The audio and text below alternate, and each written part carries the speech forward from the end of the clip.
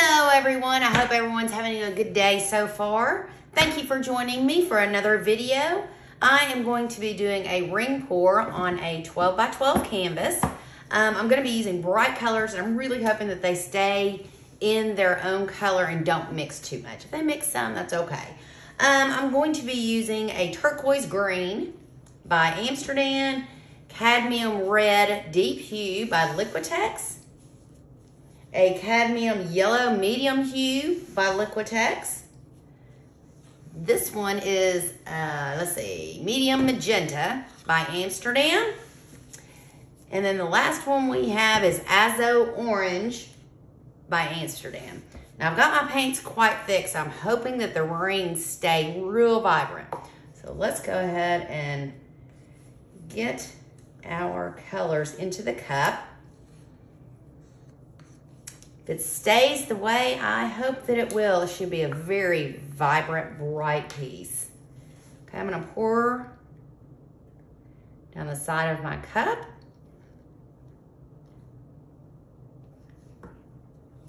I did the turquoise.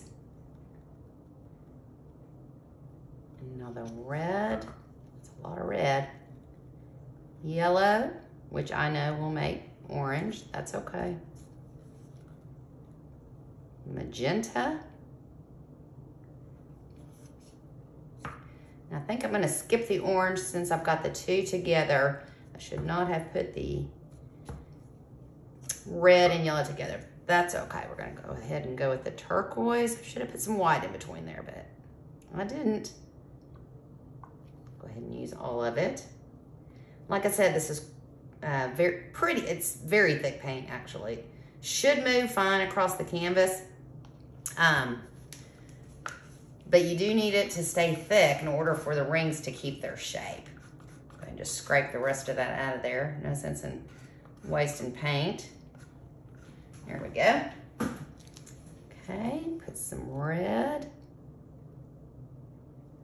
I'm not gonna put quite as much red this time since I did put quite a bit a minute ago. And let me get some magenta. I'm gonna go ahead and use the rest of this magenta. Switched it up there because I don't want that red and that yellow next to each other. Since I already have orange as a color. Didn't do very well putting those together, did I? That's all right. It happens. Happens to all of us. Wasn't thinking that one through. Still thinking maybe I should have put some white in here. Okay. Orange. Yellow.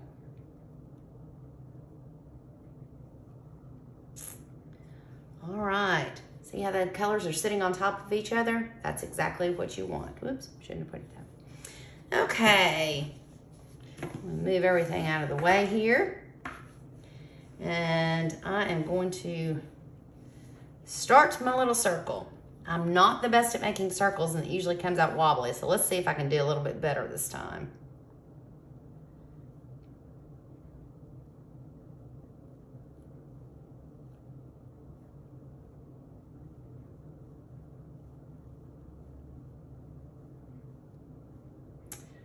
Not yet. There's that beautiful blue, teal.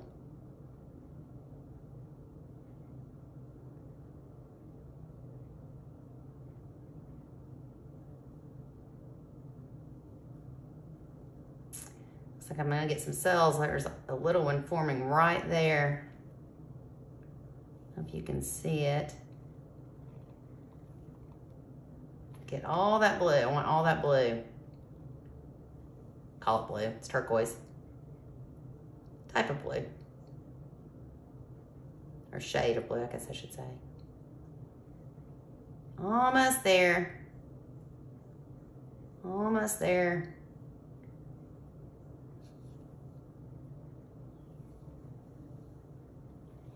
There we go. Ooh, look at the cup.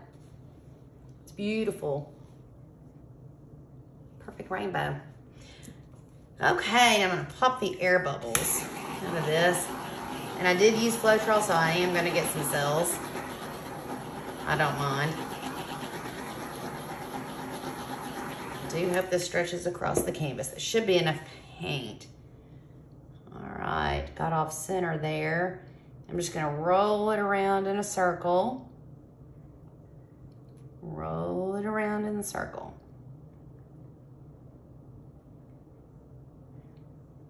Get this to cover it.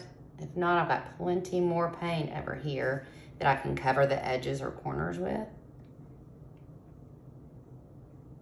So that it'll slide across the canvas. Paint doesn't like to slide on dry canvas sometimes. Love the turquoise center. So pretty. Seeing some more air bubbles come up, so I'm gonna stop here in just a second. Shift the paint. Now I'm going to torch again.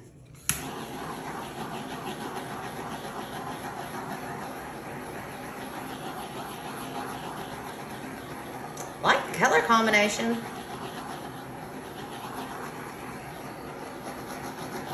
There we go. All right, I think I am gonna go ahead and I'm going to put some orange here and over here and over here. I just want that paint to be able to slide really good. So once it hits this paint, this orange, it should slide even better. Okay. When I was pouring the orange paint into my cup, a whole giant glob fell out and it wasn't easy to get back in, so I just made a bunch. So I guess I'm glad I did now. All right, I'm gonna spread this out some. And most of this orange will fall off, which I hate to waste so much paint, but I do want this to move across the canvas. So we're going to give it a little assistance. As I say, help it if you can.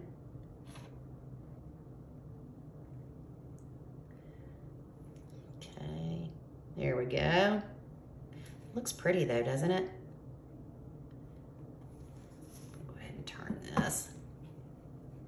Instead of working upside down. Make it easier on myself. All right. Like I said, this paint is thick. It is a thick consistency, but I wanted the rings to stay together and not so much blend into, ooh, that's okay. That'll, that'll push off anyway. One more little twist here. Let me get this.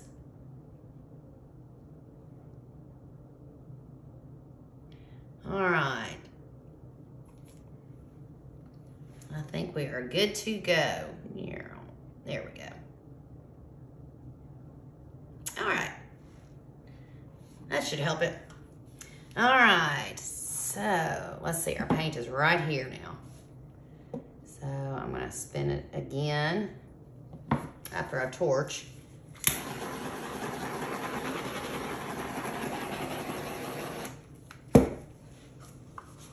right where I hit that red, the canvas is showing. So I am just putting a little bit more there. Just want to glide it along.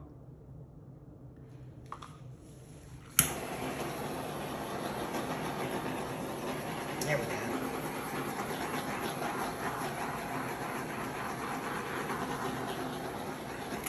go. Okay, let's move this around. Oh, it's pretty. I love the colors, like I said. Love that blue with the red in the center. See all that paint shifting? All I'm doing is kind of going in a big circle and bringing it back. Oop, that one went off the edge there. That's all right. Going to eventually. And I'm shifting it back. Okay, I'll turn it so you can see.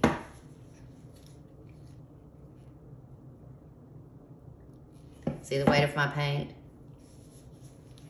It's going back that way. I don't want it to really go off the corner just yet. There we go. Shift it this way. Again, I'll turn it so you can see it better. I'm liking it.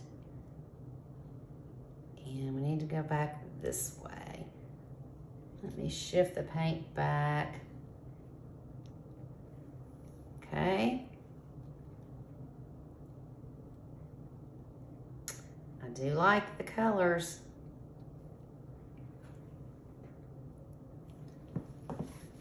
Keep turning so you can see it. All right. I'll go ahead and let it go off.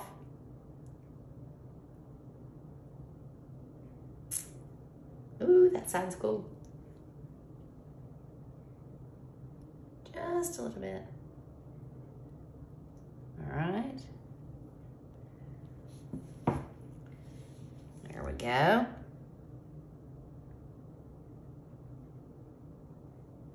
I want my paint to come all the way down.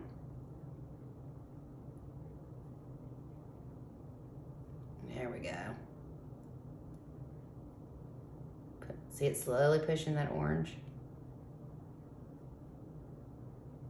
Super cool. Probably could have used a little bit more paint and probably not use the orange on the outside, but that's, doesn't bother me.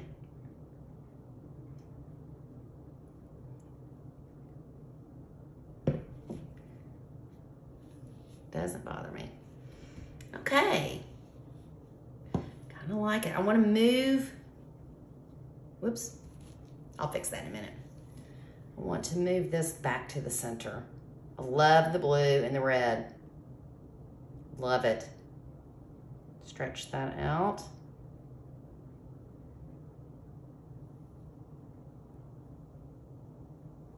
It's moving, it's just moving pretty slow. I said, I probably could have used a little bit more paint. There we go. Love the blue red. I think I've said that about four times now.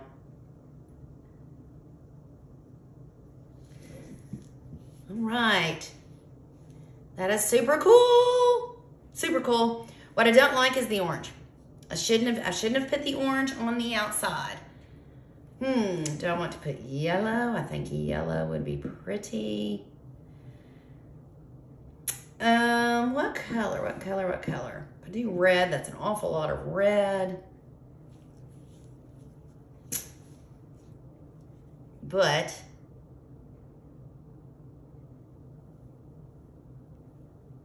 I think I'm gonna go ahead and do it. Cover this corner, these corners with red. I'm not happy with the orange, so that red will cover it up. Yellow would not. I hope I have enough. Surely I do. And if there's some orange, that's fine. I just don't want the whole thing to be orange. All right, now let's let's stretch that out.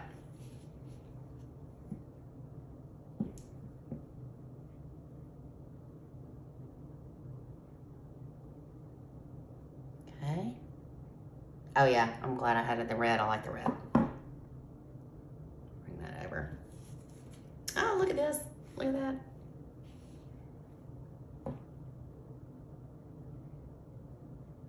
If I can't get that red over. Okay.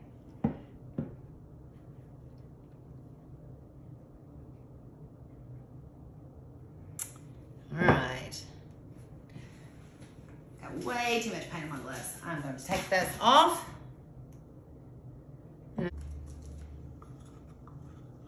I know better than try to paint in gloves. I paint in them and I end up taking them off. I have all kinds of colored nails at the end of the day. it's quite the look.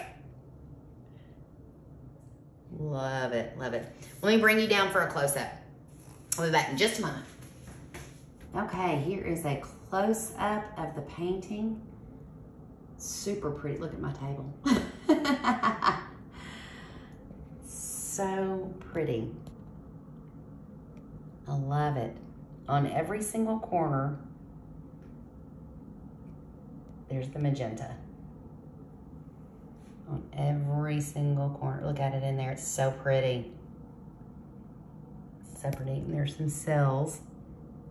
Knew I'd get some cells. I've got Floetrol in my medium. Magenta's showing up there. And there's the magenta over there. Really is a pretty piece. This is so cool right here. I love it. The red with the blue, that, that's, I just think that's an excellent and fabulous converse, that conversation, combination. Look at this over here. So cool. So super cool. All right, well, I hope you enjoyed this video. Thank you for watching and joining me today. Be sure and hit that subscribe button and give it a thumbs up if you enjoyed it. I will see you for the next video. Bye.